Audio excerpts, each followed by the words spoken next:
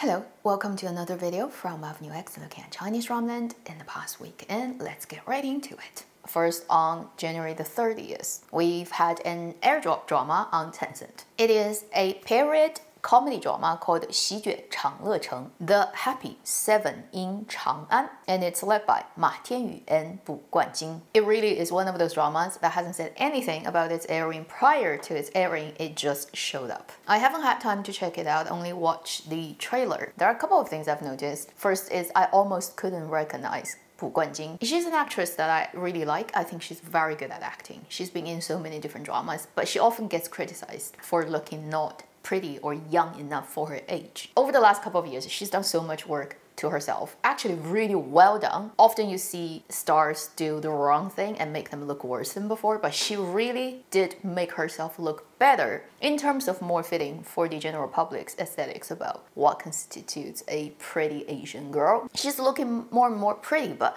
less and less recognizable. So that's a problem because recognizability, I'd argue, is more important for an actor than being conventionally pretty. Anyway, also she has this weird wig in this drama that has this weird hairline that rarely happens to female because usually for girls in period dramas they use their own hair. And then also Ma Tianyu He's been around for how many years now? It's a bit sad for me to see that his career really hasn't progressed at all. He's still pretty much mostly in those idol period dramas that are not doing much for your work portfolio as an actor. Overall, just based on the trailer, it looks like a very standard, normal, not high budget, only tailored to very small demographics. Period comedy idol drama, that type And as if like airdropping is the most popular thing, one day after that, on the last day of January this year, 31st, we had a drama that also airdropped, 爱奇艺. And it is the period drama that actually has finished making for quite a long time, but still hasn't aired until now, 阿麦从军. English title is Fighting for Love. I don't know why they should name it that way. They really should change it. Amai Songjun literally means Amai goes into the military or Amai goes into the army and Amai is the female lead's name. It's led by Zhang Tianai and then it's a story with her and three different guys. It's based on a novel, but it has been seriously rewritten, so you can almost ignore that it has any connection with its original IP. It's led by her and also Zhang Haowei, who's been around in drama for years, but always playing supporting roles almost. And whenever he's the lead role, the drama kind of flops. He's not a bad actor and he's actually pretty good looking, but for some reason, hasn't happened for him. Then the other main guy is Wang Ruichang. From early days of Shang Shi Chongfei Eternal Love, uh, the uh, crown prince, the male second, the often actually gets debated about why he's the male second because he's really good looking type of guy. He's been in a couple of other dramas where he plays lead. He's not bad at acting, but also still hasn't had a big breakthrough. And there's another guy in the drama who supposedly is the male third lead, but people are not happy about the fact that he is the male third and supposedly he eventually ends up with the female lead. Anyway, the story has started airing. They dumped out six episodes on day one and two episodes every day, updating it. 36 episodes in total. I'm actually up to episode 8 already as I'm making this video. It's surprisingly better than I thought. It has a reasonable plot and reasonable characters with reasonable level of intelligence. Nobody is super stupid and there's very limited amount of artificial sweetener in terms of trying to cram everybody into the space to kiss each other too early on in the story. I will keep watching the drama and if it's worth talking about, I will be talking about it. Then February the 1st, we also have two dramas going live. Again, pretty much unannounced and just showed up. First is another 24 episodes. Aichi romantic contemporary drama that um, just by the title and the casting and even the trailer, you know it's yet another this type of drama, not so different from, say, what we've just had on Youkun Mango with Chen Xingxu. So this one is called Dui Yu Er So that's playing with the Chinese word Dui Wu Er. English title is a lot more straightforward, My Special Girl. It's led by Zhang Yunlong and Song Yiren. I have no idea they actually work together. I am so behind Chinese drama land news, even though I do it every week. And supposedly it's a simple story of a guy who owns an entrepreneur company, yeah, like all the male leads in contemporary dramas these days, played by Zhang Yunlong, who um, gets an intern into his company, played by Song Yiren, who actually wanted to be a singer on like live streaming, but her parents really are against it, and she is actually from preschool education major, so that's a really weird sort of um, mix and match of major and career and hobbies and how that's gonna work out. I'll try my best to get to it. I am a little bit curious to see Zhang Yunlong and Song Yiren pairing up. The other just shown up drama is from Mango Television, 40 episodes contemporary drama. And this is one of those clearly targeted at a wider demographic family drama called 欢乐家长群, not having an official English title, literally meaning a happy group chat of parents. Group chat is a thing these days in China if you have kids in school. You are forced to get into a WeChat group, your kid's class group with all the parents and their teachers. And it's a nightmare for most parents because they have to actually reply to teachers' requests of doing this and that all the time and um, often just induce more stress than good. It's led by mid-age range, very solid and have been around for many years actors such as Zhang Jiayi, Chen Hao, potentially a very 鸡飞狗跳drama, chicken fly, dog bite, family drama. So these are the dramas that pretty much are all dropped out of nowhere and happened during this week in Chinese dramaland. And then we have more confirmed news of the week leading up to Chinese New Year. On February the 6th, two dramas will be going live. One is the Da Tang Di Gong An on Youku, Judge Di's Mystery, the case-breaking drama based on the Dutch writers novel. It's first season, first 32 episodes. I will definitely check it out. That's an exciting day because also on the day on iQIYI, the drama Nan Lai Bei Wang will show up. They've released a new trailer this week, and iQIYI definitely is betting its money to make Nan Lai Bei Wang, the 70s train police drama with Bai Jingting and many other people, to be this year's Kuang Biao knockout. Because last year it was also around Chinese New Year that Knockout came out that became the hottest drama at the beginning and pretty much throughout the whole year in Chinese dramaland. Let's see if iQIYI this time can repeat that. Moving on, let's talk about dramas that have wrapped during this week. So these people can go home and have Chinese New Year holiday. First is a 40 episode drama on iQIYI that I've mentioned when they started shooting. It's very low key. Even at this point when they've wrapped, they've only released one type of video showing the process of the working. I feel this is another heavy money bet and when iQIYI put it out, they want to get a lot of good reviews.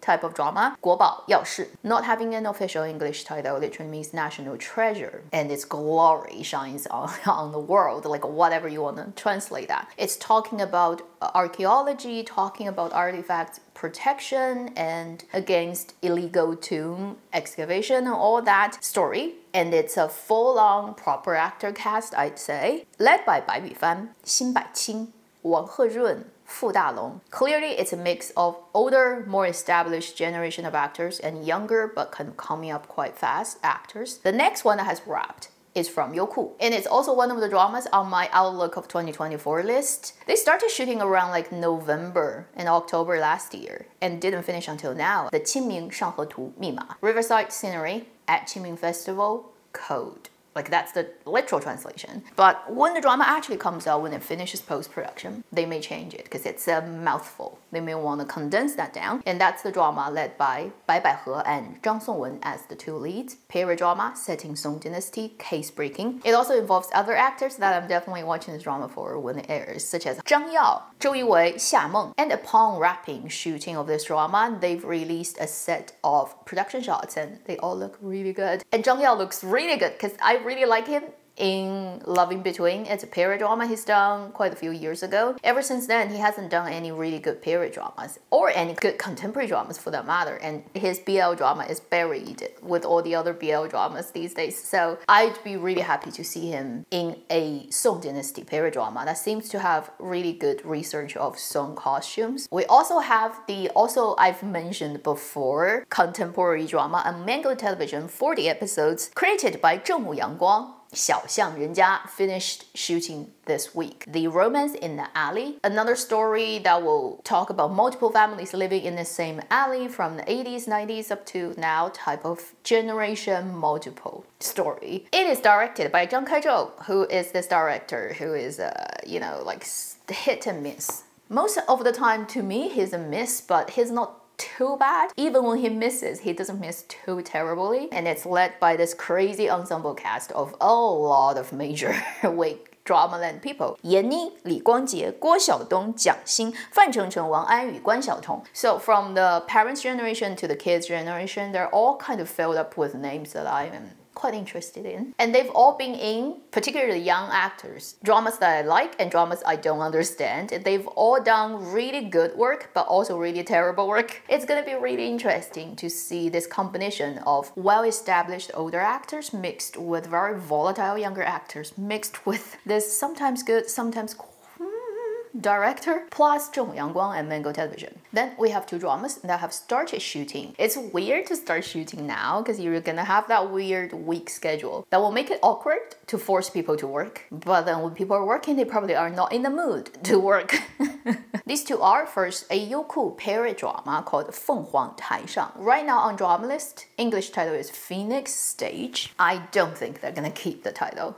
when they actually ended up airing it. But anyway, right now it's called that based on existing IP and it's led by Ren Jialun and Peng Xiaoran. And if you want to know more about what the story is, its original novel's title is My Empress. I think that kind of completely tells you what the story is about. They just released the poster of the two leads, looking like a very standard normal period drama and even the two leads look like what they look like in other dramas they've done before so I'll just keep my expectation very neutral at this point of time. The other drama that has started shooting during this week is also from Youku and it's very low-key. You can't even find it on drama list but they did start shooting. It's a contemporary drama. 金冠吕姐一科 That's a little bit mouthful but basically it means uh, one division of the custom at this border place and it's actually a contemporary drama about people who work at border control and custom. The English title is Gimlet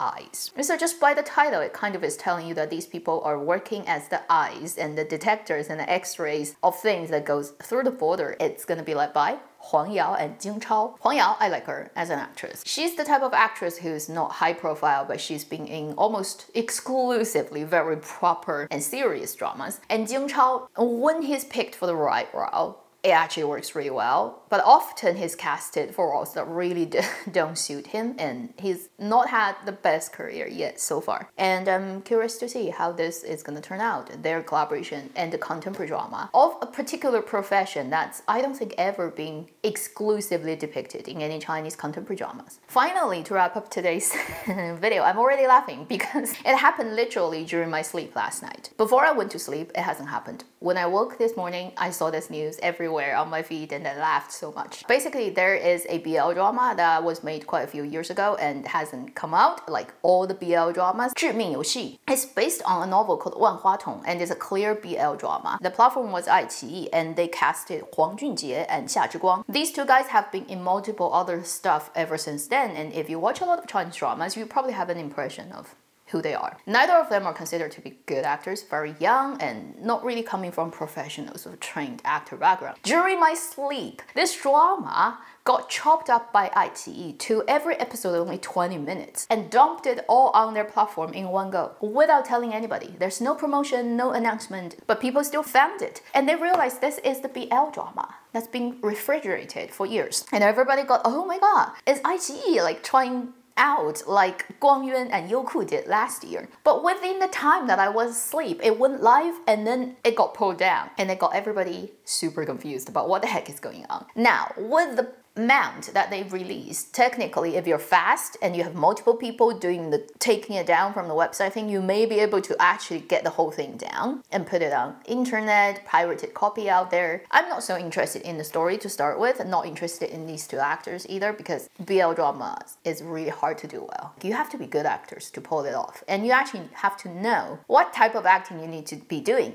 You're not actually playing realistic gay people. You're playing imagined version of mm, yeah, that, that whole complicated psychological thing on the back end. And if you're not clever and experienced enough actor, you actually easily make a mess. Based on the leaked out footages I see on the internet, it's embarrassing in terms of the acting. And they stole the most important line from a Word of Honor, which is there's light on you and I want to grab it and take a look Every BL drama has a classic line. For example, in Guardian, you would say, I've caught it. In Word of Honor is, 你身上有光,我抓来看看. Everybody knows that line, right? If you've been through 2021. And this drama shamelessly took it completely. That part of the video is online. I've watched it and I'm like, oh my god, oh my god. Just because you're another BL doesn't qualify you for stealing literally the line from another BL drama. What the heck are you thinking? Just because of that, I'm like, oh, okay. Now I can make fun with other people together on this drama for being living on internet for like what? three, four hours and disappears again. It's a good thing that this drama is buried now. And please don't show up again. I don't want to see it. It's it's embarrassing. It's embarrassing.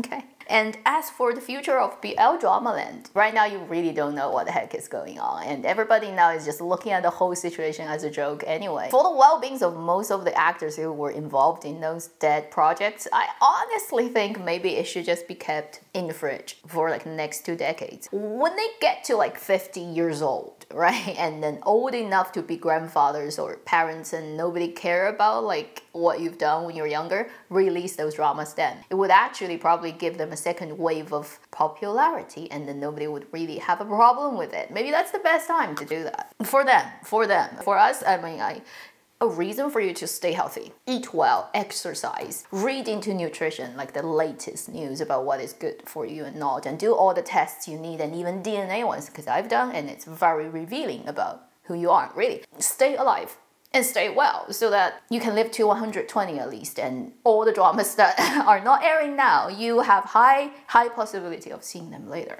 thank you for watching Avenue X i'll see you in my next video meanwhile live long and happy drama watching